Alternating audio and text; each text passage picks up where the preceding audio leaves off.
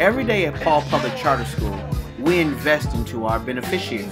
But let's take a closer look into our beneficiaries and find out what they want to be in the future. Hi, my name is Kate Dennis and I'm your beneficiary. I'm Janai Davis and I'm your beneficiary. Hi, I'm Greg Spencer and I'm your beneficiary. Hi, I'm Xavier. I'm your beneficiary.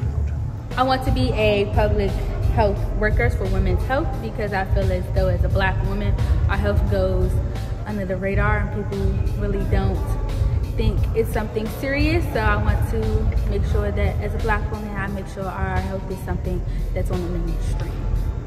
I'm Greg Spencer. In a career choice, I want to do is videography, media, and production because I love to produce music and movies. I want to be an accountant because I like numbers and they're easy to figure out. Nothing changed about them. So putting in numbers and putting up stuff, we worry.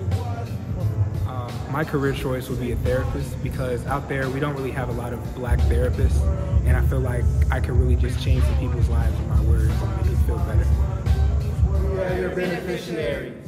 To all the public health workers, accountants, therapists, music production engineers, and those that are just brave enough to dream at Paul, please consider donating this Tuesday to your beneficiary.